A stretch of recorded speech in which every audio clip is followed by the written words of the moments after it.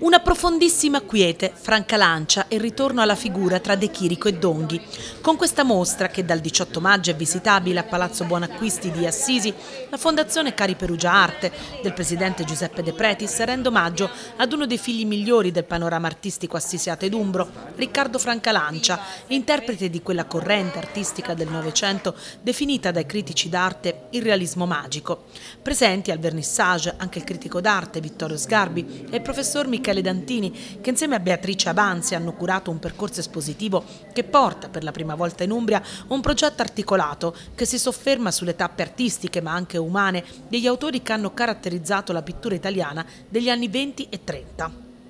Franca Lancia è uno dei meno conosciuti fra gli artisti della scuola romana, ma è forse il più poetico, è un poeta della natura, è un poeta del paesaggio,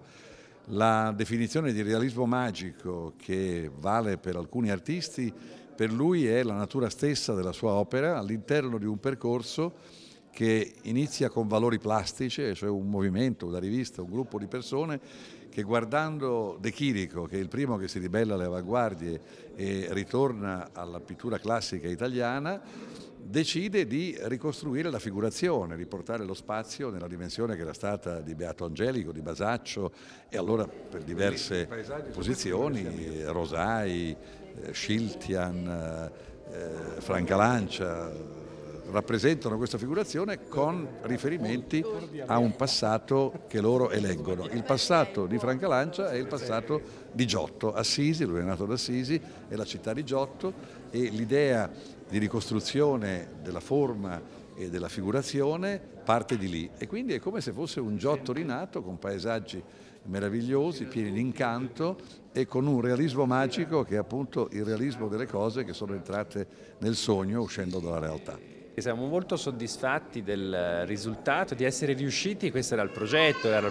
il proposito iniziale, di essere riusciti a inserire un artista eh, del realismo umbro, del realismo, del realismo, magico, in un contesto nazionale, restituendolo alle sue relazioni, ai suoi rapporti, ai suoi interlocutori, che erano letterati romani, eh, e di altre città e ai pittori che sono quelli esposti eh, con Franca Lancia in mostra. Quindi mi sembra che siamo riusciti in maniera abbastanza convincente, per noi molto soddisfacente, a restituirgli il, il respiro, che è un respiro almeno nazionale. Franca Lancia da Assisi giunse a Roma nel 1913 portando con sé i silenzi e le suggestioni della natura umbra. Nelle sue opere ritroviamo tutto l'incanto e la magia che attraversa l'arte italiana in quel periodo. 130 le opere in mostra tra pitture e sculture, tra cui, accanto a Francalancia, non poteva mancare Giorgio De Chirico, Felice Casorati, Cagnaccio di San Pietro, Antonio Donghi, Francesco Trombadori, Mario ed Edita Broglio, il giovane Mario Mafai, Corrado Cagli, Mario Tozzi, Gisberto Ceracchini,